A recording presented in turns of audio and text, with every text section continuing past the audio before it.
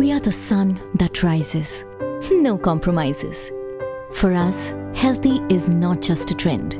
It is our weekday. It is our weekend. But health at the cost of taste? A question rises.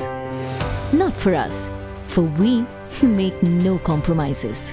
The India of today makes no compromises on health or taste. And that is why it chooses US cranberries. US cranberries, the taste of health. Hello everyone, I am Dr. Rachna Batra. I am a dietitian certified diabetes educator. Welcome to Fit Tak. Today we're going to talk about how to create a healthy plate for children. Children's health is the foundation of lifelong health. It is important to encourage healthy eating habits in children by providing them variety of foods, by limiting the amount of junk food and also by being a role model, especially when it comes to eating healthy. Now due to our busy schedules, we have all outsourced the job of feeding the children from natural food we are moving towards more towards the processed food. Even children prefer eating processed food because of its easy availability because of its taste as well as peer and media influence. Now we need to understand that all these processed and junk food provides nothing but empty calories.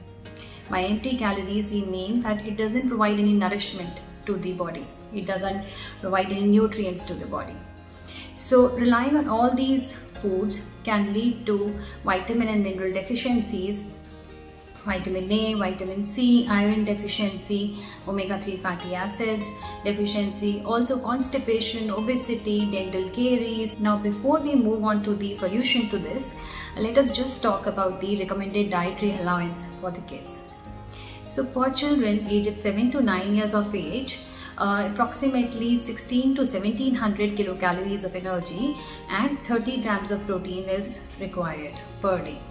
And similarly, children between 10 to 12 years of age should have at least 2000 to 2100 kilocalories of energy and approximately 40 grams of proteins per day. In addition, calcium intake should be between 600 to 700 milligrams per day and the other nutrients which are really important during these years are iron, vitamin A, vitamin C and fiber. We say that the child's plate should be filled with variety of foods from the five food groups. Child plates half plate of the child should be filled with fruits and vegetables. A quarter should have the healthy grains and the other quarter should have healthy proteins. Along with this, a source of dairy and healthy fats should be included in the diet of the child. So these five food groups are number one, whole grain cereals, number two, proteins, uh, number three is fruits and vegetables, number four is your dairy and number fifth is healthy fats. So make sure that the child's plate has the food, variety of food from all these five food groups. Let us now just talk, talk about all these nutrients in detail. One more thing that we must not forget is water. So in addition to all these five food groups, water should be the drink of choice with each meal or snack and one we should limit giving juices sodas sport sports drinks to the kids because they are devoid of nutrients. Now let me give you an example of the uh, entire days you know the meals individual meals. So let's start from the breakfast. In breakfast you can serve uh, you know egg omelette maybe with something like multigrain vegetable loaded sandwich to the kid. Or maybe you can give them stuffed chapatis or something like vegetable porridge dalia or oats oats chilla oats porridge can be given. Now comes the mid mornings. Mid morning snacks can be fruits or maybe some protein based snacks or dairy based snacks.